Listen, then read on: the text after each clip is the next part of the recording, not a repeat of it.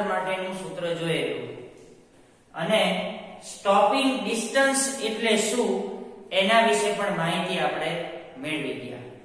Enemy સેકન્ડમાં કાપેલા અંતર માટેનું સમીકરણ પણ જોયેલું અને એના પછી આપણે સ્ટોપિંગ ડિસ્ટન્સ એટલે શું એનું સમીકરણની તારવણી પણ આપણે કરી ગયા છીએ. આજે આપણે આ લેક્ચરમાં મુક્ત પતન એટલે શું તેના અચળ પ્રવેગી ગતિના સમીકરણો શું થાય એના વિશે માહિતી મેળવશું. મિત્રો, આ પાઠ 12મો છે 11મો પાઠ nમી સેકન્ડમાં કાપેલા અંતર માટેનો છે. તો 12મા પાઠમાં આપણે મુક્ત પતન એટલે શું? તેના અચળ પ્રવેગી ગતિના સમીકરણો મેળવો. તો મિત્રો, પહેલા આપણે મુક્ત પતન સાબિત કરતા પહેલા ગુરુત્વ પ્રવેગ g વિશેની વાત કરવાની છે. ગુરુત્વ પ્રવેગ g એટલે શું? તો કોઈ પણ પદાર્થ ગુરુત્વાકર્ષણ બળની અસર હેઠળ જો ગતિ કરતો હોય, તો ત્યારે ઉદ્ભવતો જે પ્રવેગ છે, એને શું બોલાય? ગુરુત્વ પ્રવેગ g તરીકે ઓળખવામાં આવે છે. દાખલા તરીકે, કોઈ પથ્થર છે, એ પથ્થર મારા હાથમાં છે અત્યારે, અને એને મૂકી દઉં, તો પથ્થરના પોતાના વજન બળને કારણે, ગુરુત્વાકર્ષણ બળને કારણે સીધે સીધો ક્યાં આવશે? નીચે આવે. તો ત્યારે એમાં જે પ્રવેગ ઉત્પન્ન થાય છે, ગતિ કરે ને એટલે ગતિ કરતો પદાર્થ હંમેશા પ્રવેગ ઉત્પન્ન કરે. તો જ્યારે કોઈ પદાર્થ કોઈ પૃથ્વીની સપાટીની ટોચ ઉપરથી અથવા તો કોઈ ટેરેસ છે અથવા તો કોઈ ટાવર છે, એની ટોચ ઉપરથી તમે એને મુક્ત પતન કરાવી દો એટલે આમ છોડી દો, એટલે સીધે સીધો સુરેખ ગતિ કરી અને ક્યાં આવે? નીચે આવે છે. ત્યારે તેના દ્વારા જે પ્રવેગ ઉત્પન્ન થાય, એને આપણે ગુરુત્વ પ્રવેગ g તરીકે ઓળખીએ છીએ. તો સૌથી પહેલો મુદ્દો અહીંયા હું લખું છું. ધ્યાન રાખજો ગુરુત્વાકર્ષણ બળની અસર હેઠળ પદાર્થમાં ઉદ્ભવતા પ્રવેગને ગુરુત્વ પ્રવેગ g તરીકે ઓળખવામાં આવે છે. અહીં ધ્યાન રાખજો, ખાસ ગુરુત્વાકર્ષણ બળની અસર હેઠળ. ગુરુત્વાકર્ષણ બળની અસર હેઠળ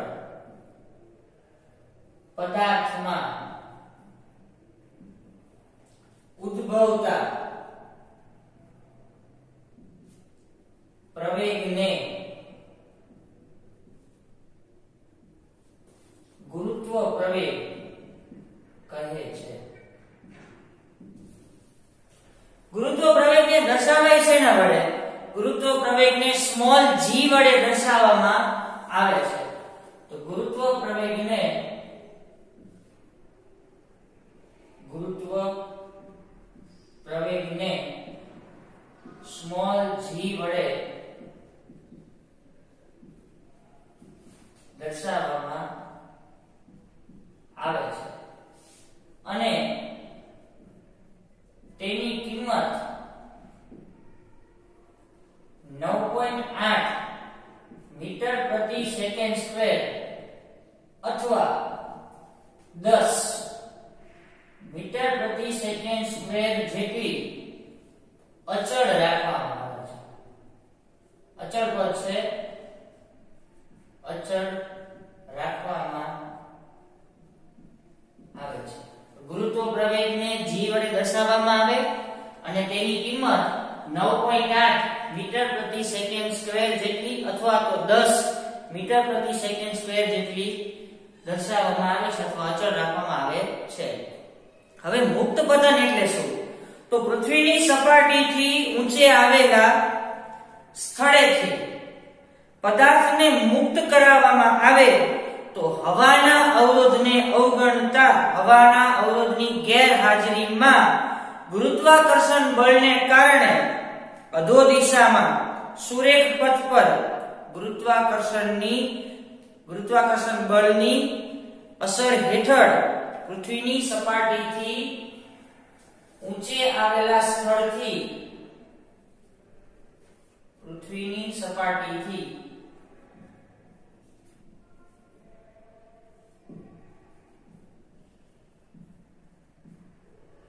ઊંચે આવેલા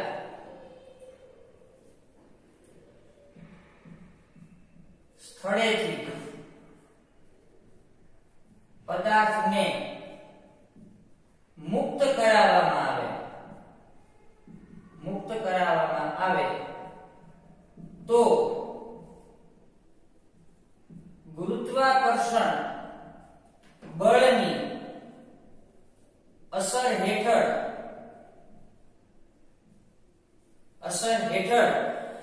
હવાના અવરોધને હવાના અવરોધની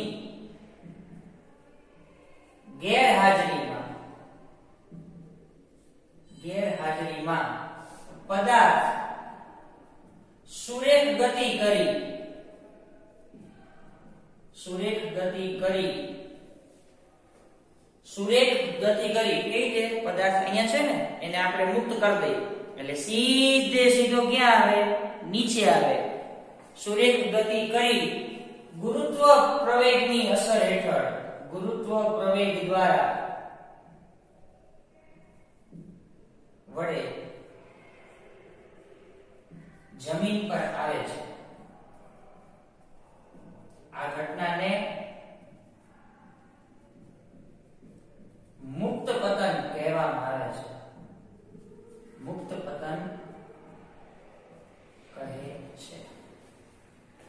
થઈ ગયું તો પૃથ્વીની સપાટીથી ઊંચે આવેલા સ્થળેથી પદાર્થને આપણે શું કર્યો? મુક્ત કર્યો. એટલે એના પર ગુરુત્વાકર્ષણ બળની અસર થાય. અસર થાય એટલે પદાર્થ સીધે સીધો સુરેખ પથ પર ગતિ કરી અને સીધે સીધો ક્યાં આવે? જમીન પર આવે. તો આ ઘટનાને શું બોલાય? મુક્ત પતન તરીકે ઓળખવામાં આવે છે.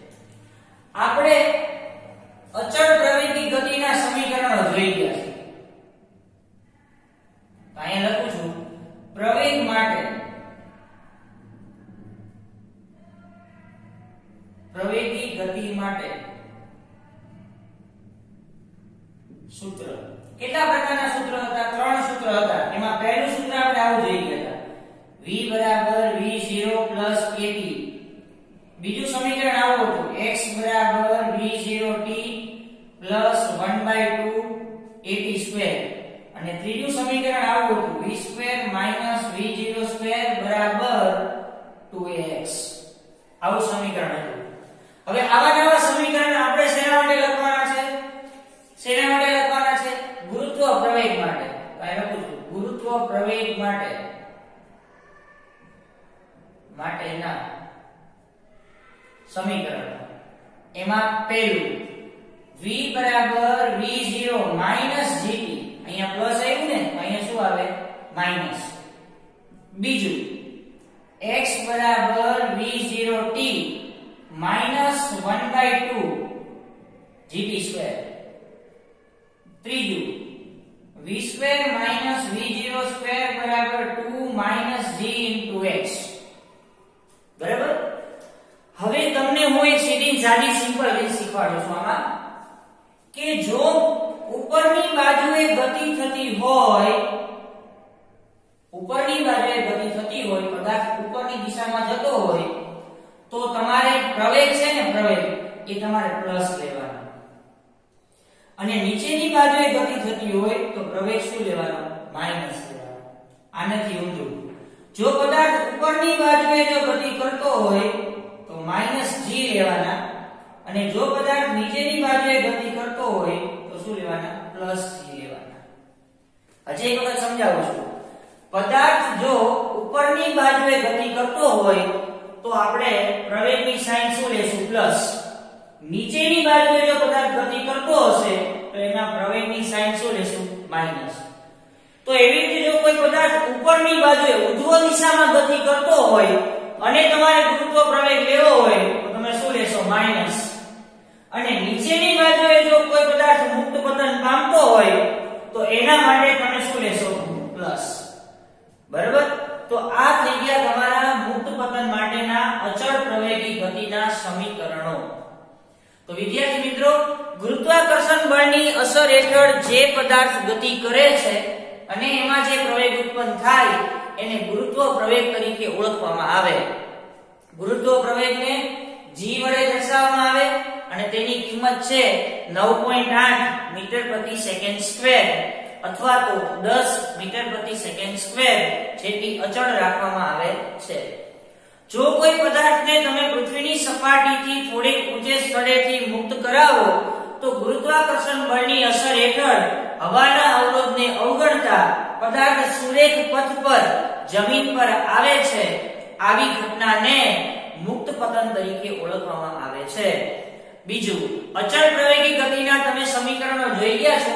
V બરાબર v0 at x બરાબર v0t 1/2 at square v2 v0 બરાબર 2ax જો પદાર્થ ઉપરની બાજુએ પ્રવેગી ગતિ કરતો હોય, તો એના માટે પ્રવેગ થાય પ્લસ નીચેની બાજુએ જો ગતિ કરતો હોય, તો એના માટે પ્રવેગ થાય માઇનસ જો પદાર્થ ઉપરની બાજુ એટલે કે ઉર્ધ્વ દિશામાં ગતિ કરતો હોય, તો g બરાબર માઇનસ લેવું અને જો મુક્ત પતન પામતો હોય, અધો દિશામાં ગતિ કરતો હોય, તો એના માટે તમારે પ્લસ g નો ઉપયોગ કરવાનો છે.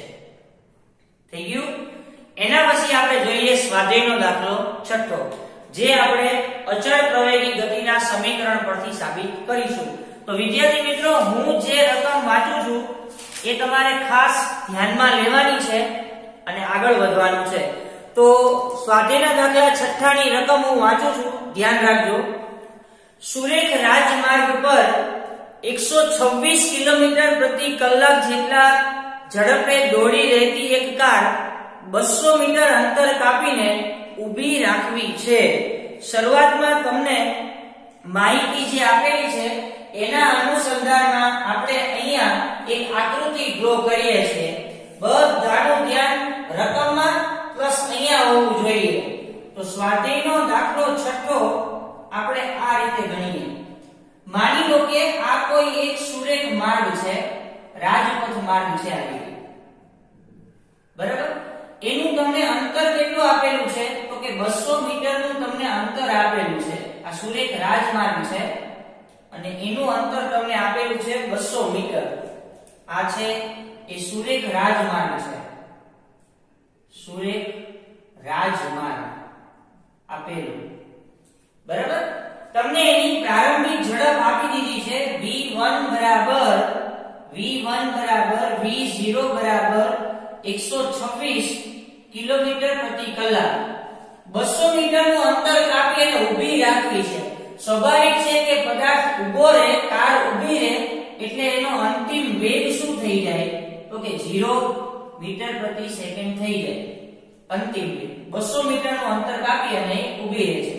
તો શરૂઆતમાં તો મને જે ઝડપ આપેલી છે કિલોમીટર પ્રતિ કલાકની છે, તો અહીંયા લખું છું, કારની પ્રારંભિક ઝડપ. કારની પ્રારંભિક ઝડપ. બરાબર v1 બરાબર v0 બરાબર 126 કિલોમીટર પ્રતિ કલાક. તો v1 બરાબર v0 બરાબર 126 ગુણ્યા કિલોમીટરને મીટરમાં ફેરવો, છેદમાં કલાકને સેકન્ડમાં ફેરવો, તો v1 બરાબર v0 બરાબર ડાયરેક્ટ તમને આ મળી જશે 35 મીટર પ્રતિ સેકન્ડ. આ તમને મળશે 35 મીટર પ્રતિ સેકન્ડ. એટલે આપણને જે કિલોમીટર પ્રતિ કલાકમાં જે ઝડપ આપેલી હતી, એને આપણે મીટર પ્રતિ સેકન્ડમાં કન્વર્ટ કરી દીધું. બરાબર? કારનો અંતિમ વેગ. કારનો અંતિમ વેગ. તો કારનો અંતિમ વેગ બરાબર v2 બરાબર v બરાબર 0 મીટર પ્રતિ સેકન્ડ. કારણ કે કાર અંતે શું? ઊભી રહી છે એટલે એનો અંતિમ વેગ શું થઈ જાય? 0 કારે કાપેલું અંતર કારે કાપેલું અંતર બરાબર d બરાબર 20 મીટર જેટલું છે બરાબર આટલું તમને આપી દીધું છે તો કારનો નિયમિત પ્રતિ પ્રવેગ કેટલો હશે અહીંયા આપણે કારનો પ્રતિ પ્રવેગ શોધવાનો છે ખાસ ધ્યાન રાખજો કારનો પ્રતિ પ્રવેગ બરાબર a બરાબર કેટલા એના પછી કારને સ્થિર થવા માટે લાગતો સમયગાળો તો અહીંયા t બરાબર સમયગાળો બરાબર કેટલા વિદ્યાર્થી મિત્રો તમારે અહીંયા કારનો પ્રતિપ્રવેગ શોધવાનો છે તો સ્વાભાવિક છે કે પ્રતિપ્રવેગ માટે આપણે બે શરત જોઈ ગયા પ્રતિપ્રવેગ જ્યારે લાગુ પાડવામાં આવે ત્યારે કોઈ પણ પદાર્થનો અંતિમ વેગ શૂન્ય થઈ જવો જોઈએ અને બીજું પ્રતિપ્રવેગ હંમેશા શેમાં હોય તો કે માઇનસમાં લેવામાં આવે. તો અહીંયા પ્રતિપ્રવેગ આપણને જે મળશે એ માઇનસમાં મળશે. અને બીજું, પ્રતિપ્રવેગ માટે અંતિમ વેગ પણ અહીંયા કેવો થઈ જાય છે? શૂન્ય થઈ જાય છે. તો આપણી પાસે અચળ પ્રવેગી ગતિના ત્રણ સમીકરણ પૈકી આપણે એ શોધવું છે, તો આપણે છેલ્લા સમીકરણનો ઉપયોગ કરીએ. તો અહીંયા અચળ પ્રવેગી ગતિના સમીકરણ અનુસાર અચળ પ્રવેગી ગતિના સમીકરણ અનુસાર. V square minus v0 square બરાબર 2a x. આવું સમીકરણ તમારી પાસે છે.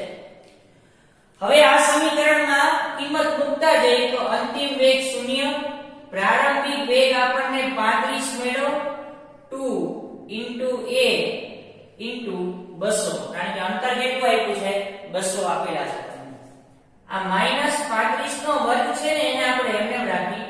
બસો ગુણ્યા બે એટલે ચારસો થઈ જાય. ચાલો એને હું સૂત્રનો કરતા બનાવું, તો -35 નો વર્ગ છેદમાં ચારસો. ચારસો ક્યાં જતા રહે? સામેના છેદમાં. 35 નો તમે વર્ગ કરો, એને ભાગ્યા તમે ચારસો કરશો એટલે તમને પ્રવેગ મળશે -3.06 મીટર પ્રતિ સેકન્ડ સ્ક્વેર. જુઓ તો તમને પ્રવેગ શેમાં મળ્યો? માઈનસમાં મળ્યો. એનો મતલબ કે પ્રતિ પ્રવેગની કિંમત હંમેશા શેમાં હોય? માઈનસમાં હોય છે.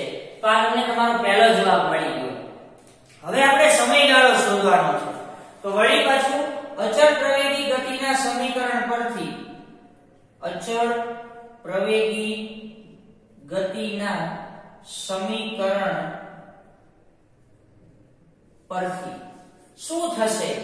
તો કે v બરાબર v0 at પરથી. ચાલો, આપણને ઓલરેડી રકમમાં અંતિમ વેગ તો શૂન્ય આપેલો જ છે. પ્રારંભિક વેગ તમને આપેલો છે 35 પ્લસ પ્રવેગ કેટલો માઇનસ 3.06 જેટલો. સમયગાળો તો આપણે શોધવાનો છે. માઇનસ 35 છે અને આ બાજુ લઈ જાવ તો?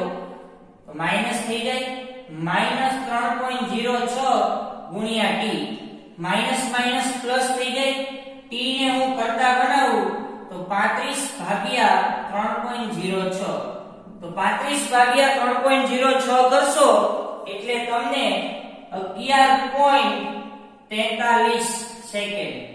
આટલો તમને જવાબ મળી જશે. તો વિદ્યાર્થી મિત્રો, આ તમારો થઈ ગયો સ્વાધ્યાયનો દાખલો છઠ્ઠો. થઈ ગયું?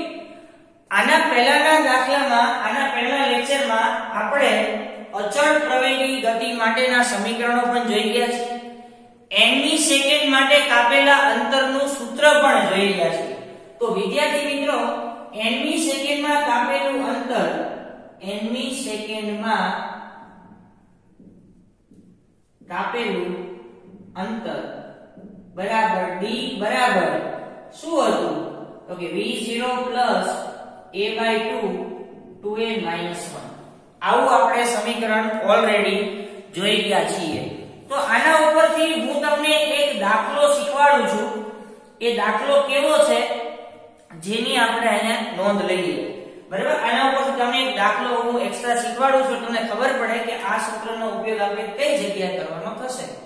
તો n મી સેકન્ડમાં કાપેલું અંતર બરાબર d બરાબર v0 a/2 2n 1 આ આપણો દાખલો સોરી આ આપણું સમીકરણ છે. તો હવે આ દાખલા ઉપરથી, આ સમીકરણ ઉપરથી એક એક્સ્ટ્રા દાખલો ગણાવું છું, જે બધાએ એક્સ્ટ્રા એની નોંધ લેવાની છે. પેલા રકમ શું છે? એ પહેલા હું તમને લખી દઉં. રકમ શું છે? ધ્યાન રાખજો એક્સ્ટ્રા છે એટલે અહીં હું રકમ તમને લખી દઉં છું. રકમ શું કે છે? સ્થિર સ્થિતિમાંથી ગતિની શરૂઆત કરતા. અહીંયા ધ્યાન રાખજો એક્સ્ટ્રા દાખલો ગણાવું છું. એની રકમ લખું છું. સ્થિર સ્થિતિમાંથી બધાએ આ દાખલો પોતાની બુકમાં લખવાનો છે. સ્થિર સ્થિતિમાંથી ગતિની શરૂઆત કરતા, ગતિ કરતા, સ્થિર સ્થિતિમાંથી ગતિ કરતા પદાર્થે આઠમી સેકન્ડમાં, કેટલામી સેકન્ડમાં? આઠમી સેકન્ડમાં પદાર્થે ગતિ કરતા પદાર્થે આઠમી સેકન્ડમાં આઠમી સેકન્ડમાં કાપેલું અંતર 120 મીટર હોય. કાપેલું અંતર 120 મીટર હોય તો તેનો પ્રવેગ કેટલો થાય? તો તેમાં ઉદ્ભવતો પ્રવેગ કેટલો થાય? બરાબર? તમને અહીંયા રકમ એવી આપેલી છે, સ્થિર સ્થિતિમાંથી ગતિ કરતા પદાર્થે આઠમી સેકન્ડમાં કાપેલું અંતર 120 મીટર હોય તો તેમાં ઉદ્ભવતો પ્રવેગ કેટલો થશે? સ્વાભાવિક છે કે અહીંયા તમને જે આપેલું છે એ આપેલું છે આઠમી સેકન્ડ. શું આપેલું છે? આઠમી સેકન્ડ. તો વિદ્યાર્થી મિત્રો, આપણે n મી સેકન્ડમાં કાપેલા n મી એટલે કેટલા કેટલામી લેવાની આઠમી સેકન્ડ. તો શરૂઆતમાં આપણી પાસે સૂત્ર આવું છે. સૂત્ર n મી સેકન્ડમાં કાપેલું અંતર, n મી સેકન્ડમાં કાપેલું અંતર. D બરાબર v0 plus a by 2 2n minus 1 આવું સમીકરણ છે આપણી પાસે. બરાબર? B બરાબર v0 plus a by 2 2n minus 1 આને આપણે અત્યારે કહી દઈએ સમીકરણ નંબર 1 હવે જે જે માહિતી આપેલી છે તમને રકમમાં, એ આપણે અંદર ફિલઅપ કરતા જઈએ. તો શું શું તમને માહિતી આપેલી છે? એ આપણે જોઈએ અહીંયા. તો શરૂઆતમાં શું આપ્યું? સ્થિર સ્થિતિ. તો પ્રારંભિક વેગ. સ્થિર છે ને? તો સ્થિર હોય તો પ્રારંભિક વેગ કેટલો થઈ જાય? તો કે 0 સ્થિર સ્થિતિ આપેલી છે તો પ્રારંભિક વેગ કેટલો થઈ જાય? 0 ગતિ કરતા પદાર્થે 8મી સેકન્ડમાં તો n બરાબર 8મી સેકન્ડ. N બરાબર 8મી સેકન્ડ. ઉદ્ભવતો પ્રવેગ d બરાબર 120 મીટરનું અંતર કાપ્યા પછી ઉદ્ભવતો પ્રવેગ a બરાબર કેટલા? ચાલો બધાની કિંમત આપણે ક્યાં મૂકશું? સમીકરણ નંબર 1 માં તો સમીકરણ 1 નીચે મુજબ લખતા. સમીકરણ 1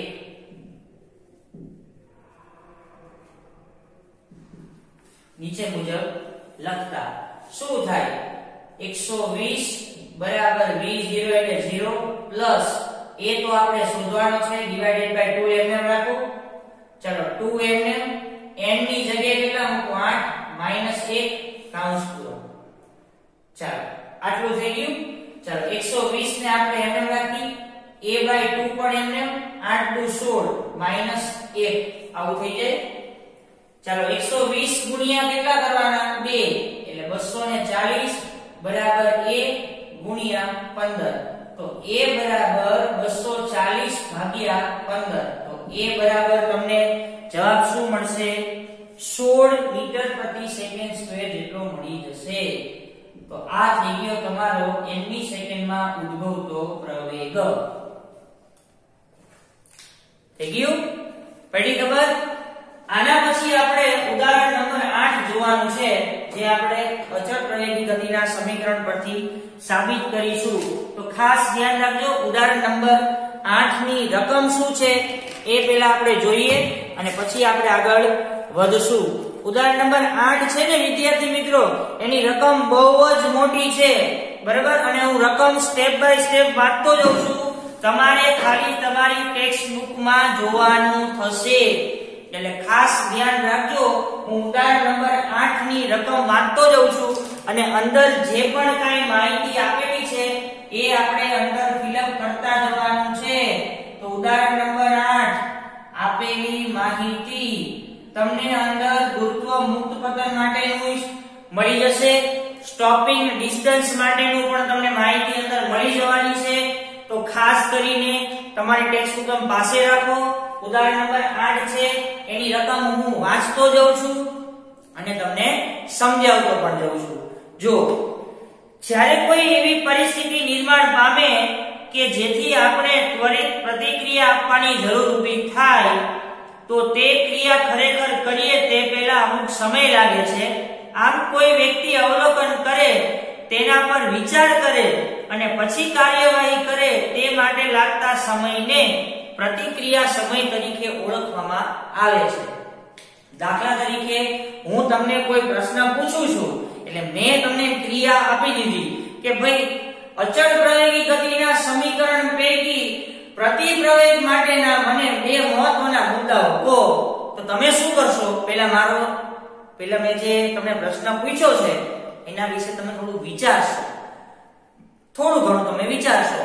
અને પછી તમે મને પ્રતિક્રિયા આપશો. તો તમે જે પ્રતિક્રિયા માટે આપેલો જે સમયગાળો છે, એને પ્રતિક્રિયા સમય તરીકે ઓળખવામાં આવે છે. આપણે કોઈ પણ કામ કરતા પહેલા થોડું ઘણું વિચારીએ છીએ. બરાબર? તમને મેં કામ આપ્યું છે કે ભાઈ આને તમે જાતે સોલ્વ કરો. કોઈ પણ દાખલો છે એ હું તમને બોર્ડ ઉપર આપી દઉં. તો તમને હું તમને એમ કહું કે તમે આ દાખલો જાતે સોલ્વ કરો તમે શું કરશો? વિચારી, કરી અને પછી મને એનો જવાબ આપશો. તો તમે જે વિચારવા માટેનો જે સમય લીધેલો છે, એને તમે પ્રતિક્રિયા સમય તરીકે ઓળખો છો.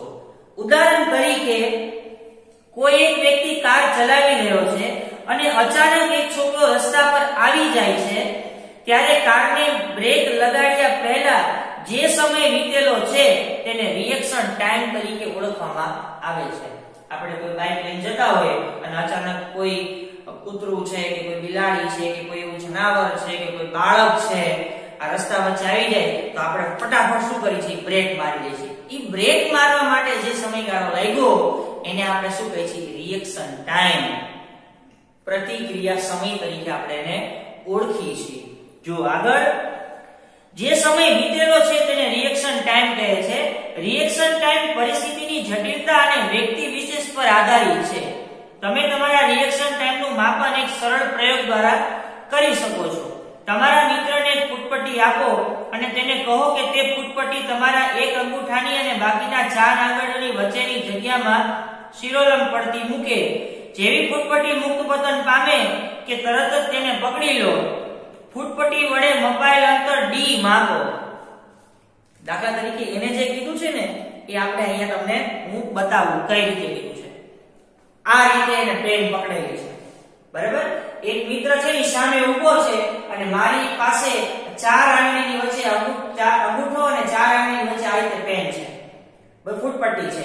હવે આને હું છે ને મુક્ત પતન કરાવી દઉં મુક્ત પતન કરાવી દઉં એટલે હું એક પેન પકડી લો, બીજો મારો મિત્ર છે ને, એ જેવી ફૂટપટ્ટી પડશે ને, એવી એને પકડી લેશે. તો મારા અંગૂઠાથી એને જે પકડ્યું, એ અંતર કેટલું? બરાબર? તો ફૂટપટ્ટી જે પડે છે, એનું આપણે અંતર માપવાનું છે. તો સૌથી પહેલા આપેલી માહિતી, ફૂટપટ્ટી ફૂટપટ્ટી વડે કપાયેલ અંતર. બરાબર ડી બરાબર કેટલા? આગળ જોજો એક વિશેષ ઉદાહરણમાં ડી બરાબર 21 સેન્ટીમીટર તમને મળેલું છે. તો સ્વાભાવિક છે કે આ જે અંતર તમને આપ્યું છે, કેટલું આપેલું છે? 21 સેન્ટીમીટર આપેલું છે. તો ડી બરાબર 21 સેન્ટીમીટર અને સેન્ટીમીટરને આપણે મીટરમાં કન્વર્ટ કરશું એટલે 10 ની માઇનસ 2 તો રિએક્શન ટાઈમની ગણતરી કરો. સમયગાળો એટલે શું? સમયગાળો બરાબર કેટલા? બરાબર? હવે વિદ્યાર્થી મિત્રો, સ્વાભાવિક છે, હું તમને જે શીખવાડવા જઉં છું, એ ખાસ ધ્યાન રાખજો. તમારા મિત્રના હાથમાંથી જે આ ફૂટપટ્ટી અથવા તો પેન પડી, એને તમે શું બોલશો? મુક્ત પતન તરીકે ઓળખશો. અને મુક્ત પતન આવે એટલે ગુરુત્વાકર્ષણ બળની અસર હેઠળ ગુરુત્વ પ્રવેગ ઉત્પન્ન થાય થાય. થાય થાય ને થાય છે બરાબર? તો વિદ્યાર્થી મિત્રો, તમને અંતર આપી દીધું છે. તમારે રિએક્શન ટાઈમ એટલે સમયગાળાની ગણતરી કરવાની છે. તો અહીંયા આપણે ગુરુત્વ પ્રવેગ માટેના અચળ પ્રવેગી ગતિનું સમીકરણ.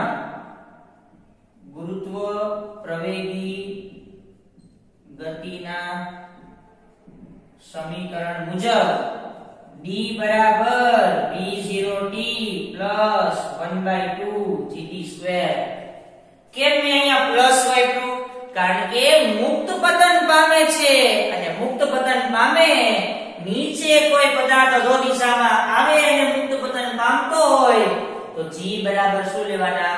પ્લસ લેવાના. એટલે આપણે અહીંયા પ્લસ લીધેલા છે. ચાલો, બધાની કિંમત આપણે મૂકી દેશું. તો d બરાબર કેટલા મૂકું? 21 ગુણ્યા 10 ની શરૂઆતમાં તો ફૂટપટ્ટી કેવી હોય? સ્થિર હોય ને?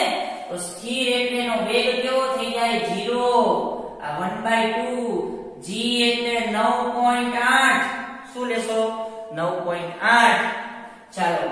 21 ગુણ્યા 10 ની માઇનસ 2 બરાબર 1/2 ગુણ્યા 9.8 ગુણ્યા t સ્ક્વેર સમયગાળો મારે શોધવો છે, એને શું બનાવવું તો કે કરતા બે ગુણાકારમાં જતા રહે 21 દુ 42 ગુણ્યા 10 ની માઇનસ 2 અને આ ગુણાકારમાં છે તો ક્યાં આવી જાય?